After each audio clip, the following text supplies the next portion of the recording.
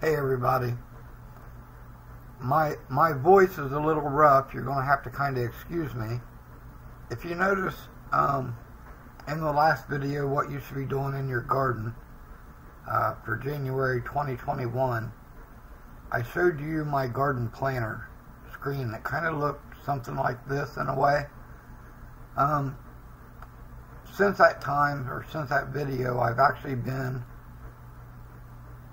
updating this as a spreadsheet that I can share to help you out with your garden. What I did was I made this where if you notice up here there's a last frost date and a first frost date. You can fill in the dates for your growing zone that you can look up online and it'll adjust all these dates down through here when you should start your seeds indoors when you should plant them outside, and the expected harvest date. I also put a padded last frost date and a padded first frost date. What this is, your padded last frost date is two weeks after the last frost date for your growing zone.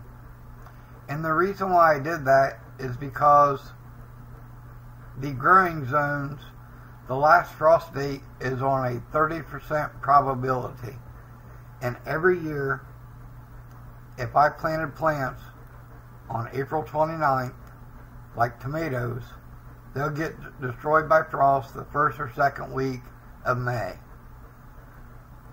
So the padded last frost date is basically two weeks added on to your last frost date and then two weeks subtracted from your first frost date for the second one.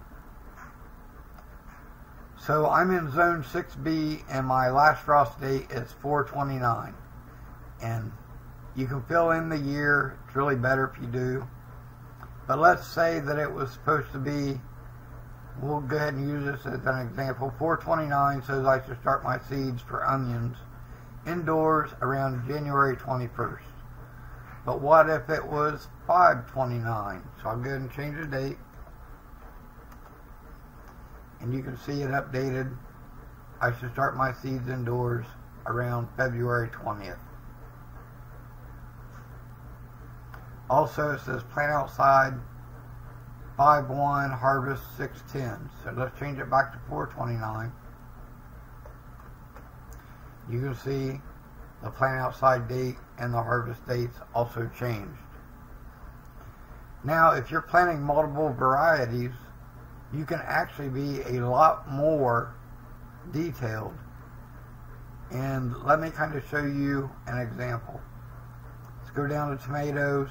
I can put the type of tomato if I'm um, if I'm doing multiple determinate and indeterminate, what I can do is highlight that line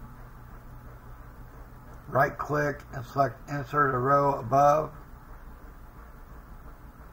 Then I can just copy this whole line and paste it. And then I can put in here, say, Roma. Now I can also be a little bit more specific. If I go in the harvest date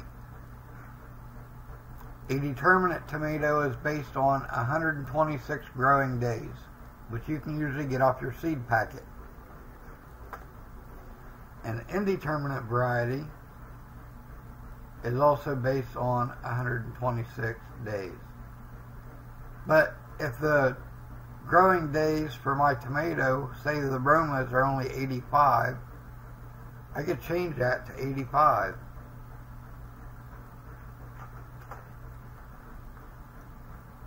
so when I copied that row, it basically changed the uh, last frost date up here.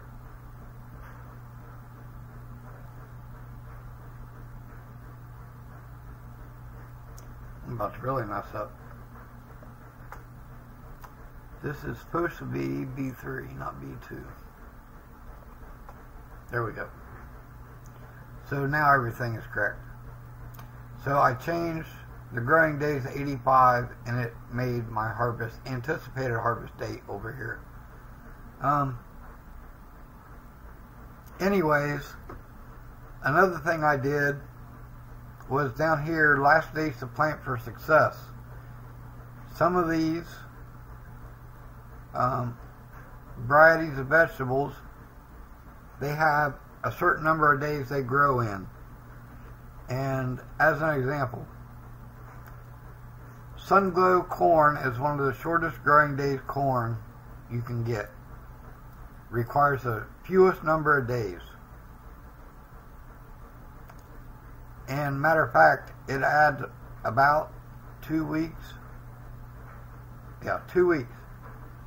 Two weeks shorter growing time than what most other corn requires.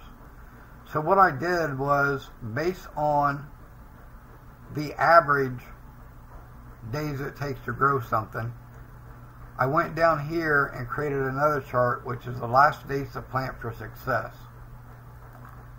And what this is based on is our padded first frost date. So for example, let's say that um, beans normally take about 60 days. So I took the last frost date, subtracted 60 days, and that'll tell you you have to plant beans by August 15th in order to harvest them before your first frost. So that's what that is about. So this is also kind of going to be my updated video for what you should be doing in January based on Zone 6B. We should be starting onion bulbs from seeds indoors around the 21st of January. And if you're going to be planting parsley from seed, you need to start it indoors around January 28th. They will both, being as the seeds were started about a week apart, they can both go outside about a week apart starting April 1st and April 8th. And then the harvest dates are a little bit different. Over here, I've got kind of a color chart with a color key over here that shows the months. This right here actually ain't supposed to be there. There we go. go ahead and save this. Um, so you got a color chart over here, January through December, and you can quickly kind of look down through here. Plant seeds outdoors, January, February, March transplant outdoors April, May, June, and harvest. I was going to make this so that these updated with whatever the date was in these columns. I never got around to it. I may do that uh, soon, but right now it's not done. So, anyways, just wanted to show you this spreadsheet. I'll leave a link to it in the description. It'll be on my Google uh, Documents folder. You'll have to save a copy to your local computer or copy it to your Google Docs drive in order to edit it. But uh, hopefully you enjoyed this.